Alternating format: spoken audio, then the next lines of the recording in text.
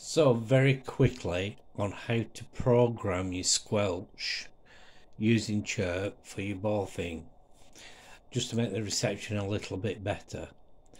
Okay, so I've assumed that you have loaded uh, the contents of your Baofeng onto CHIRP. When you've done that, you'll see at the side there, there's another tab that says settings. So if we go to that settings, and click. We then get another um, set of menus. The first one is the basic ones and it says squelch level 1. That is what your radio is going to be set at when you turn it on.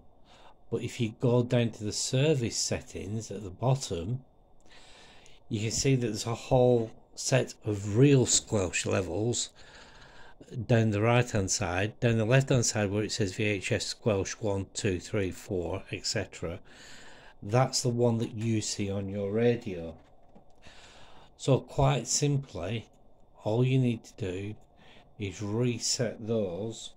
So your first one could be 1 and that will be that if there's no interference that'll turn the squelch off.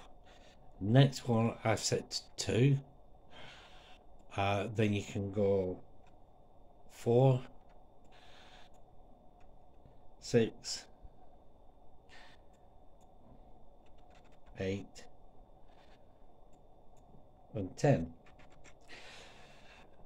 Usually one and two is plenty. Uh, if you've got a lot of interference, by the time you get up to uh, the squelch level 6 on the radio, which in reality is a 10, you, you're fully well on then anyway. Uh, if you go one further more and you turn it to 30, all you're looking at is signals coming in that are 5 and 9. So from there then, all you do is you go and save that there and then you just up, upload it to your radio as you would normally and that's it it's as simple as that